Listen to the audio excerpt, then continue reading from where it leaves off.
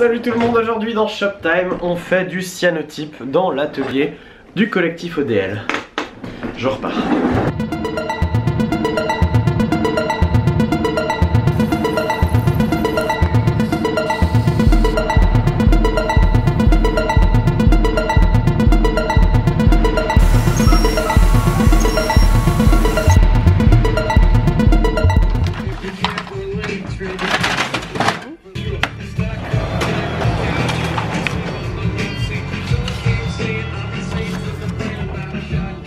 Voilà, belle photo en négatif.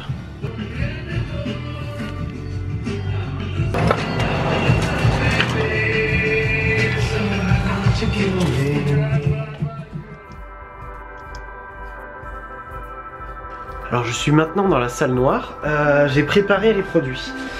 Alors en fait le cyanotype se fait avec du euh, nitrate de d'ammonia à la Cette technique du cyanotype, c'est une technique assez ancienne euh, à la base, ben, faite pour les photos, mais on peut aussi très bien imprimer sur du transparent comme j'ai comme fait. Attention, euh, il y a un des produits qui, euh, qui moisit, c'est du citrate de fer ammoniacal, c'est ça. Citrate de fer, ah, non, oui c'est ça. Citrate de fer ammoniacal. Voilà, il en faut 37 grammes pour 150 ml pour la conservation si on a 1% de formol à l'intérieur. Donc le produit B, c'est du ferricyanure de potassium. Il en faut 18 grammes pour 150 ml euh, avec de l'eau distillée. Et euh, il y a une autre recette, c'est 20 grammes pour 100 ml.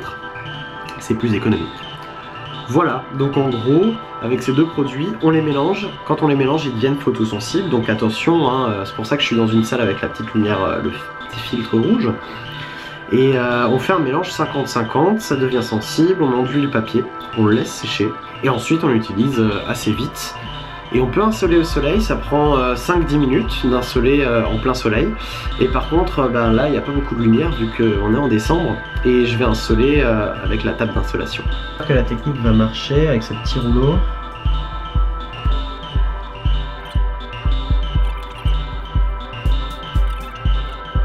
J'ai trois feuilles. Trois feuilles, il m'en reste trois. Là, j'utilise du papier assez épais parce que du coup, après, on va, on va rincer, etc. Donc, Croyez-moi, il vous faut un papier très épais, ça c'est du 260 grammes. C'est assez fat. On va en refaire un tout petit peu, je vais rincer la pipette. Je rince bien la pipette, comme ça il n'y a pas de contamination entre les deux produits.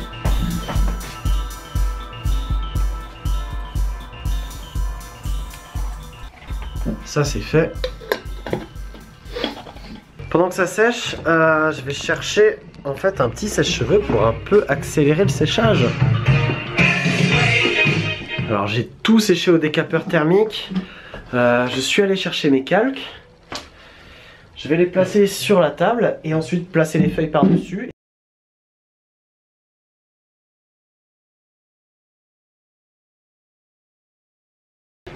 Comme ça, mon calque est bien plaqué avec euh, le papier. Et en fait, on fait ça bah, parce qu'on n'a pas de table. Il y a des tables d'insolation qui aspirent qui fait une zone de vide qui permet d'avoir les deux trucs vraiment tout collés.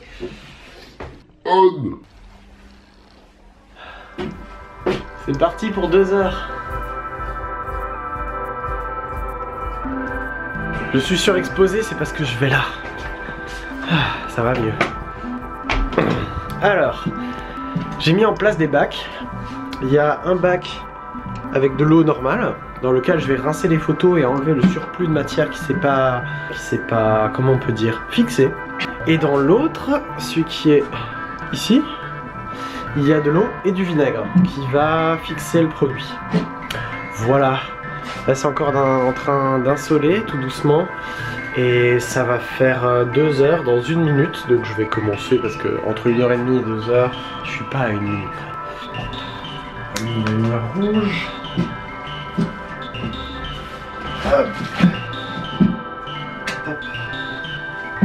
Extraction des feux. Tout sombre. On va essayer d'éclaircir ça. Deuxième. Hop. Pour l'instant, elle est.